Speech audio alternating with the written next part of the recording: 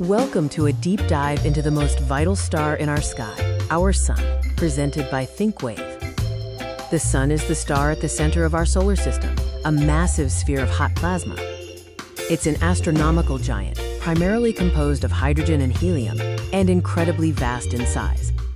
The Sun exists as a plasma state of matter, where its hydrogen is continuously converted into helium.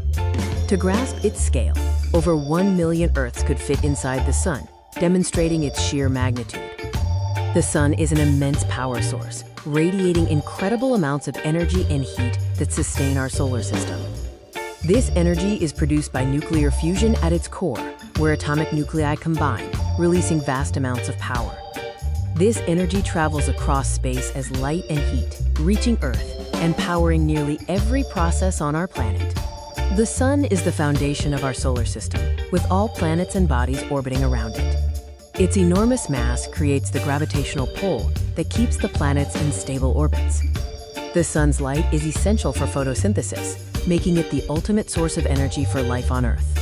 The Sun is also home to dynamic and fascinating phenomena, which we can observe from Earth. Solar flares and sunspots are examples of magnetic activity on the Sun's surface that can impact Earth.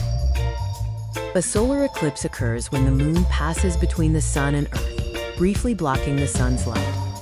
The sun's stable energy output is crucial for our planet, and it will continue to shine for billions of years to come. Thank you for watching, and subscribe for more such videos.